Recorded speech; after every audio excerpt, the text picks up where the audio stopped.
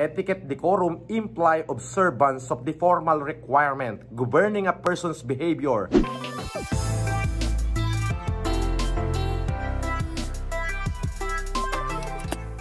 The news of Senator Coco Pimentel, Mocha Uson, and Major General Sinas escaping the hands of justice truly has crooked the Philippine law. I'm the law here. All the law. NBI took businessman influencer Francis Leo Marcos into custody after he allegedly violated the revised optometry law of 1985. He was found to have handed out eyeglasses without approval from the Philippine Association of Optometrists. Marcos went viral during the lockdown when he urged affluent neighbors to offer charity for the poor in his now infamous Mayaman Challenge. Challenge accepted.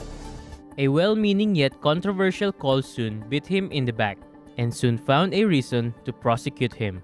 Other than a complaint about inciting to sedition, other complaints have been filed against him including violation of the passport law and anti-alias law. This is due to the fact that Marcos was found using two names in documents, which were Norman Mangusin and Francis Leo Marcos. Tell us about yourself. Who are you? Furthermore, a standing warrant of arrest is set against him for violating the Violence Against Women and Children law from a Nueva Ecija court. Finally, four persons have come out of the woodwork to accuse him of estafa.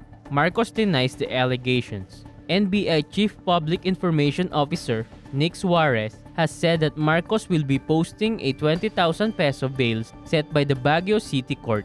Just for clarification, Francis Leo Marcos is not related to former First Lady Imelda Marcos, who confirmed that they just share the same last name. I, I had nothing against him.